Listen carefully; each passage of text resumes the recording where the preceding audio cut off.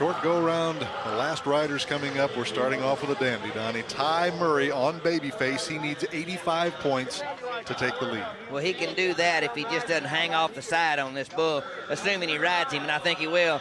But this could be good. One of my favorite bulls. You've seen him.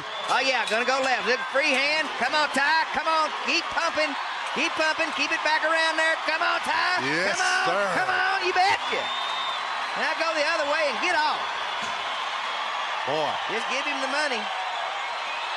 Okay, judges. We know he needs 85 to take the lead. That's that's that's 90 something.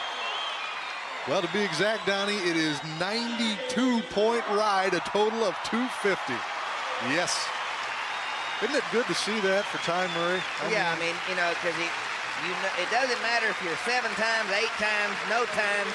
If you've been riding, coming back off an injury, Exactly. And everything needs to work just like it's working right there, but you just need to ride some of those because you've got to know mentally that you are back. Mm. Ty knows it. Boy, he jumps into the lead, and Pam is standing by with Ty. Ty, you wanted that bull baby face. Was he everything that you thought? Yeah, he's just like he looks. You know, he's a little bull, but he's got more heart than probably any bull going. He's, he's as good a bull as there is.